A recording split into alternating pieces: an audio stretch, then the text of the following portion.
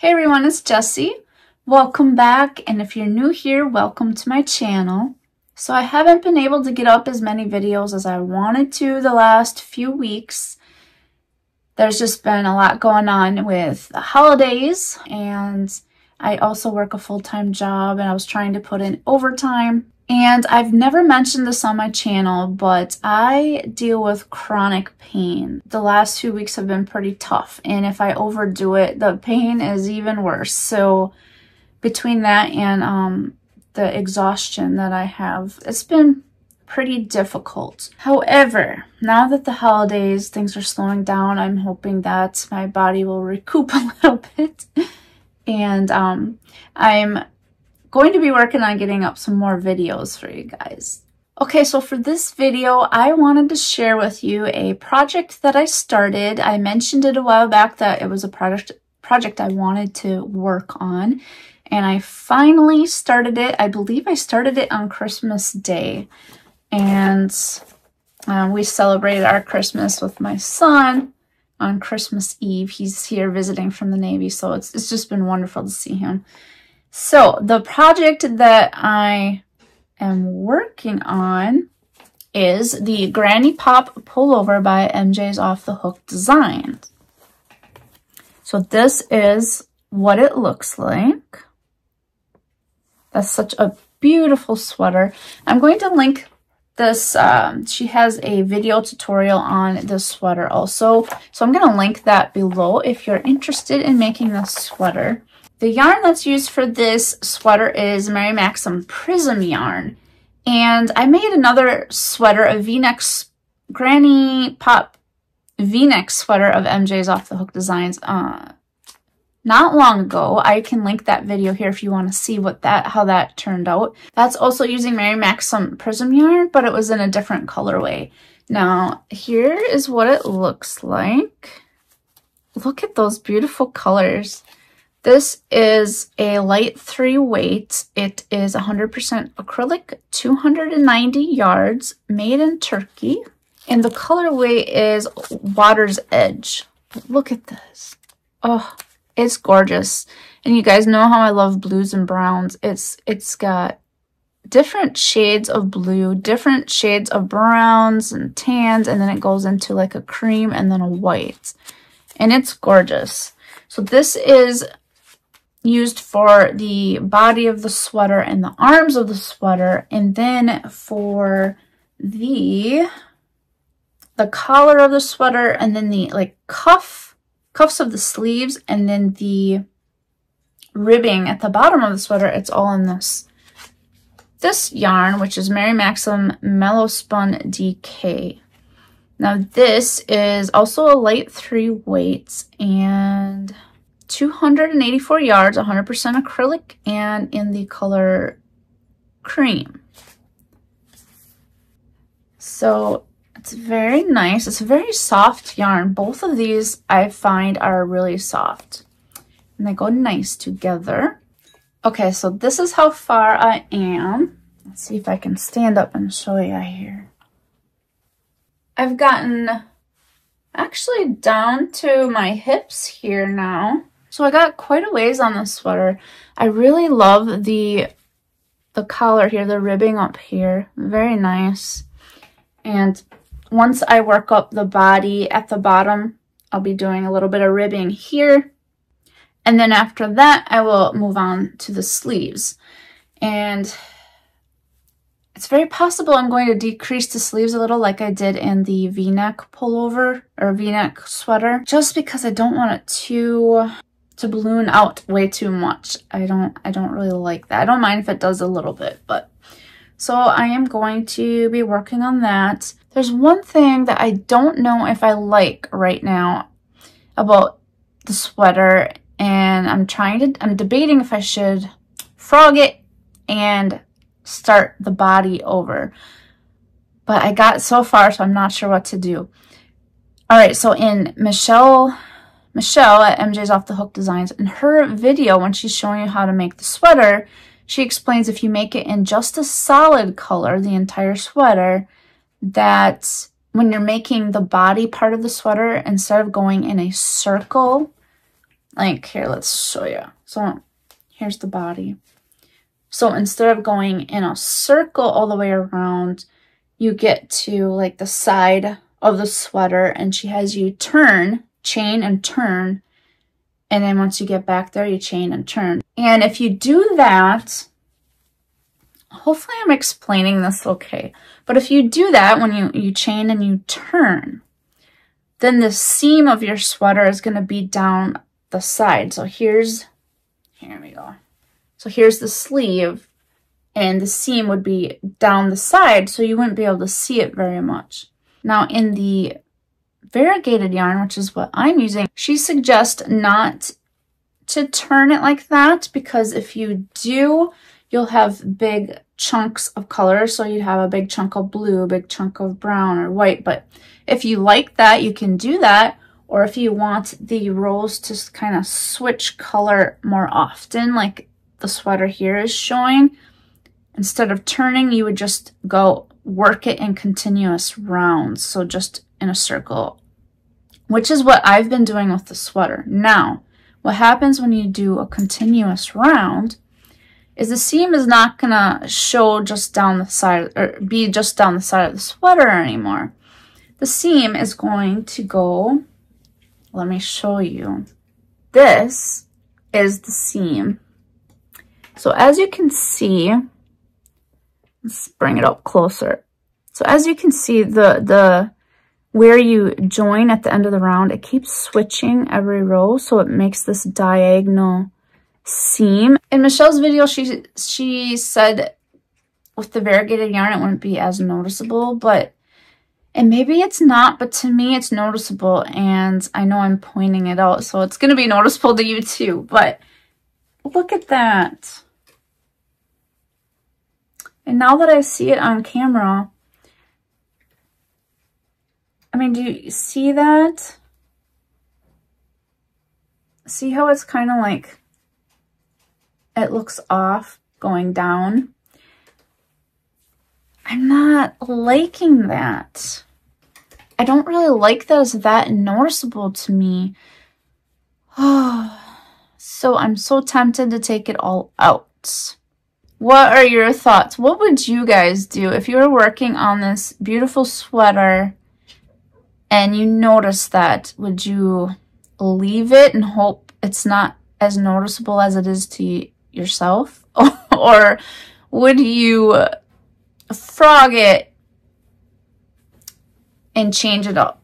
I mean, I guess if I turned it the other direction, it would just be on the back and then the front would be fine. I don't know, you guys. It's. It, I think it will drive me crazy. So, just wondering your thoughts. What would you guys do? And I'm also wondering your opinion on some other things. So I sometimes like to have more than one project going because if I, let's say I have this one going, well, I do have this one going, but this project I'm working on, if I get, you know, a little bored with it and I want to work on something else, then I have another project to go to and I can go back and forth if I get bored. So I am thinking of, I'm trying to figure out what I should work on next. And there's so many things that I do want to work on. Now, one thing I thought of working on is, so I have all this Hobby Lobby clearance yarn that I have so much from um, the last two years. I got some good deals on Hobby Lobby clearance yarn. And if you haven't, I have one video up of that. If you want to see, I'll link that here. But I have some thicker jumbo yarn that I'm thinking of making like a throw blanket. I don't I don't know if I have enough for like a full-size blanket. I don't think so, but maybe like a throw. Now, let's see. Two years ago, I think it was about two years ago, I ended up getting this yarn. It's Yarn Bee Uberlux Calming Blue. That's the colorway. It is a 6 super bulky yarn, 100% acrylic, 42 yards. Um, I can't remember how many skeins I have of this, but I believe I have enough to make a small throw blanket. And it's a beautiful teal color. So I am thinking about making a throw blanket in this color. And then last year I picked up some other colors. Now here's another one that I could make a small throw with. It is Yarn Bee Soft and Sleek Super Bulky 70 yards. I believe, yes, 100% low pill acrylic in the color mauve. So this is also very pretty. So I think I have enough to make a throw in that. And then I got also got Yarn Bee True Colors Super Bulky 30 yards. And this one is actually, this one was a six weight and this is a seven weight. I have never worked with a seven weight and I only one other time worked with a six weight.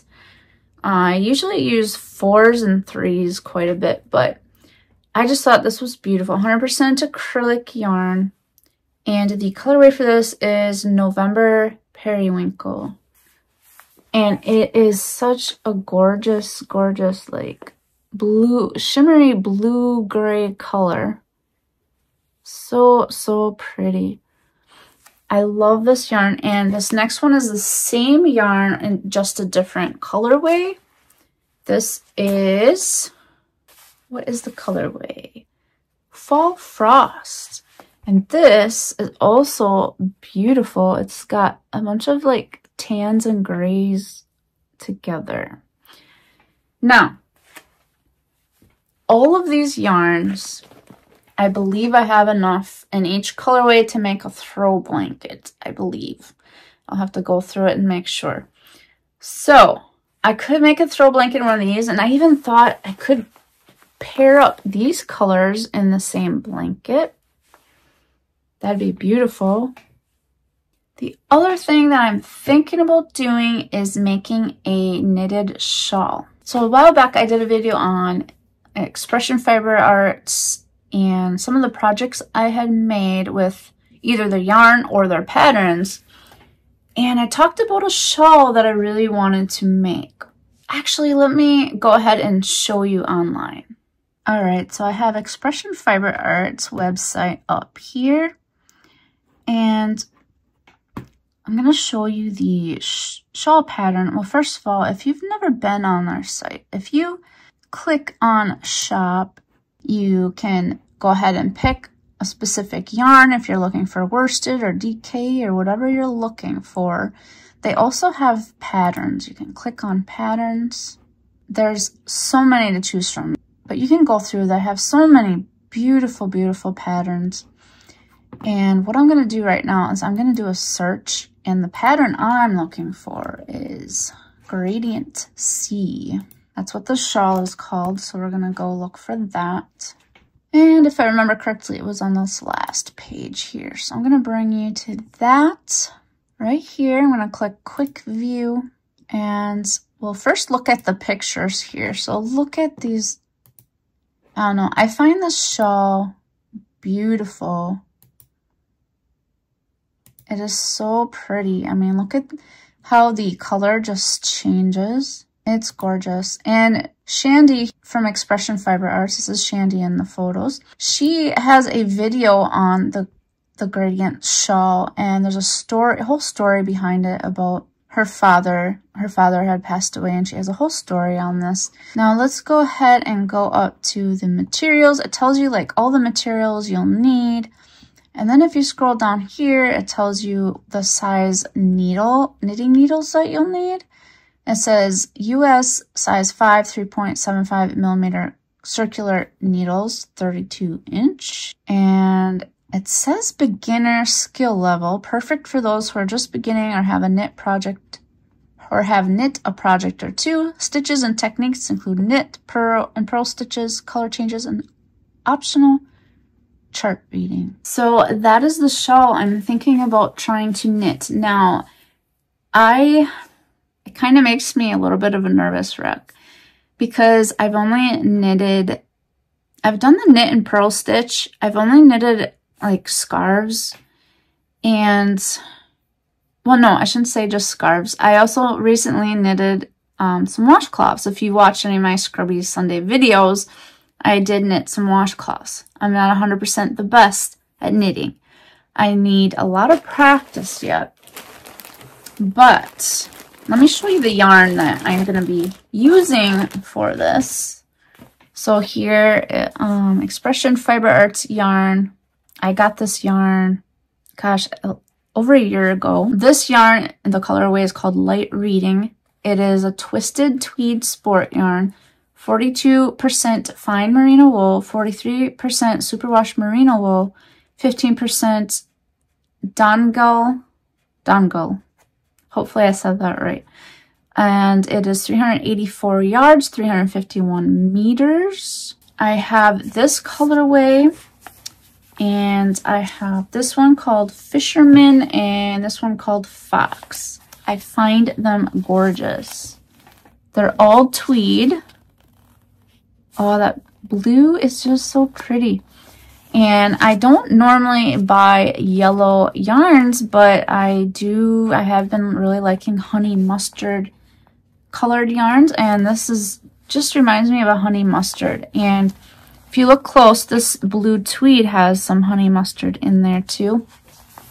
And so does the, the gray, has little speckles of it. So I find these three colors would really make a beautiful shawl and I wanted to find colors that kind of also reminded me of my father. Um, both my mother and father passed away a while back, but I thought I would find some colors that kind of remind me of my dad because Shandi, she made it to remind her of her father. So I thought it would be really cool. So it's a project I do want to work on. I'm, I'm trying to decide if I'm going to tackle it this year or or soon or wait a while yet. I kind of been putting it off because I'm nervous. Um, and if you guys know anything about knitting needles, you know how it said uh, US size 5, 3.75 millimeters. I don't know much about knitting needle sizes, so I don't know. Will it say both a size 5 and a 3.75 millimeter on the knitting needle? Either way, I'm going to do some research and I'm going to try and make sure I find the right knitting, knitting needle because I do not have that size. And I'm guessing the 32 inches is the size, the length of the cord that's needed.